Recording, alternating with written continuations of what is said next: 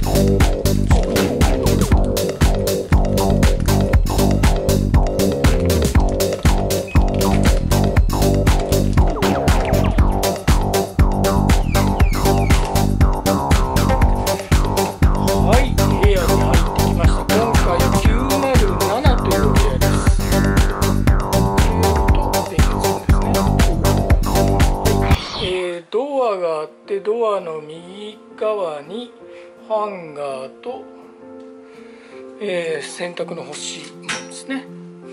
でちらっと見てテレビがありゴミ箱があり、えー、スタンドがあり、まあ、今回シングルのお部屋なんでこれぐらいのベッドがございます。横120ですかね。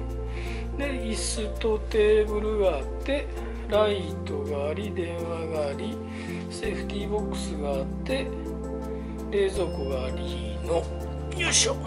普通の冷蔵庫ですね。小さめの。空気清浄機があってこちらがはい、えー、鏡になりますね。で上に空調があってこちらに空調のボタンがあるというような形です。回先に窓の外を見てみましょうか。907号室。よいしょ。どっち向いてんのかな？東を向いてんのかな？あれがあ西かな？西を向いてる感じでございます。下がお墓ですね。はい。あれが三条商店街になろうかと思います。で続きましてこちらがトイレとトイレも普通な感じですね。で、まあ、洗面所がありのこちらがあシャワーだけなんだ。シャワー室があります。というような形でございます。はい。椅子畳ですね。